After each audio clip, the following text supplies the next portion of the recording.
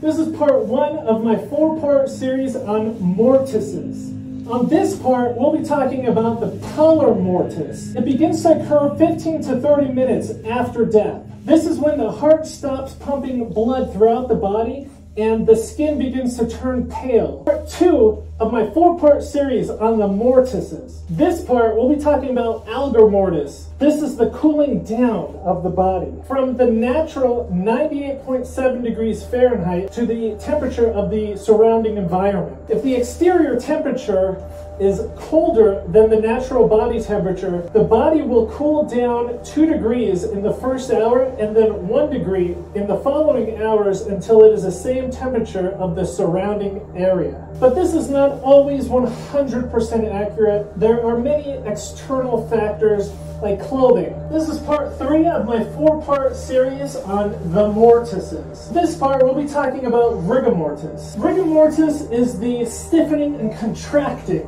of the muscles. Before rigor mortis, the body is completely relaxed because of something called primary plasticity, because the brain is completely dead. This initial relaxation lasts about two hours-ish, this is when the body pees, poops, and passes gas. It's that relaxed. Ooh, but then the cellular breakdown triggers the rigor mortis and the stiffening of all the muscles and the contracting of the muscles. This peaks at about 12 hours, and then the body begins to start relaxing again. This stage can be more accurate in determining the time of death, more so than algor mortis, primarily because there's less external factors involved. This is part four of my four-part series on the mortises. In this episode, we'll be talking about livor mortis. This primarily involves discoloration and blood pooling. Once the blood stops circulating throughout the body, gravity will pull the blood out of the extremities, turning them almost white. And gravity will pull the blood